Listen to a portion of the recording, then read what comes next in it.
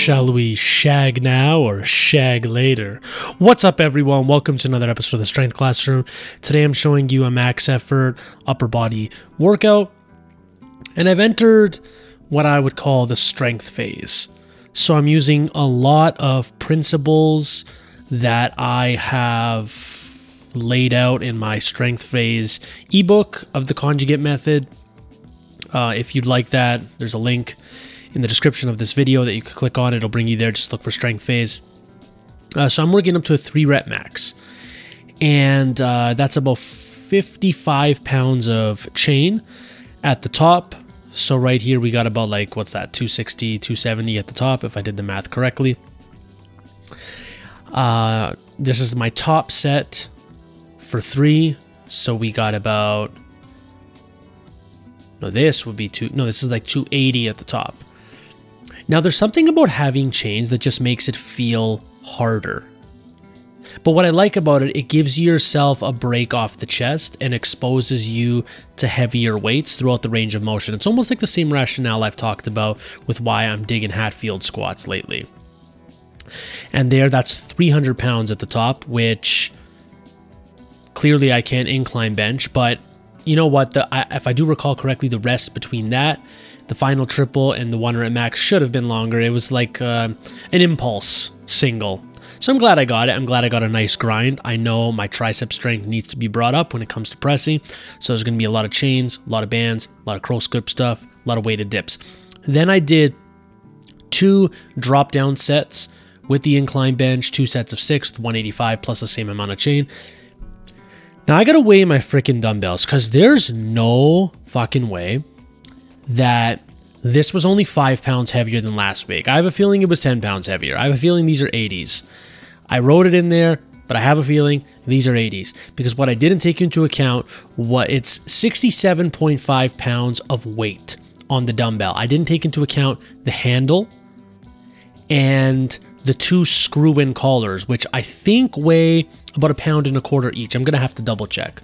I'll get. I'll. I'll I am actually going to review those badass dumbbells. That's the brand. I'm not calling them badass dumbbells.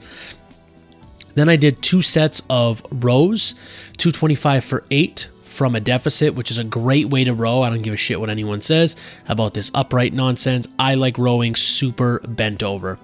275 for six.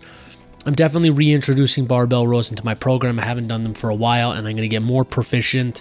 I'm going to get the reps up, the weight up, and I'm just going to get my back more jacked. That's all there is to it.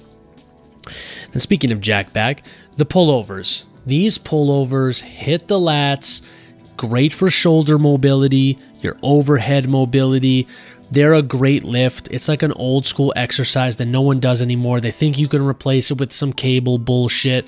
It just doesn't feel the same. It doesn't feel the same at all. I'm not going to lie. It's much more challenging. Think of this as a deadlift for your lats. That's what I'm going to say. Think of this as a deadlift for your lats because I like resetting the weight all the way on the floor. Now that I think about it, when I've used 45 pound plates, I don't think I've ever not touched the floor just due to the range of motion. Then the last part of the workout, this is fairly brisk. Three sets of 25. Uh, these are just seated tricep pushdowns, I guess, if you want to call them. Just, you know, finish off the workout, pump up the arms, all that good stuff. But I like the angle here. As you could see, I'm slightly being pulled forward, and it just gives a totally different feel than if I were to be standing.